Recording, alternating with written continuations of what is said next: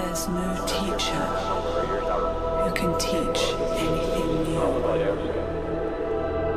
He can just help us to remember the things we always knew.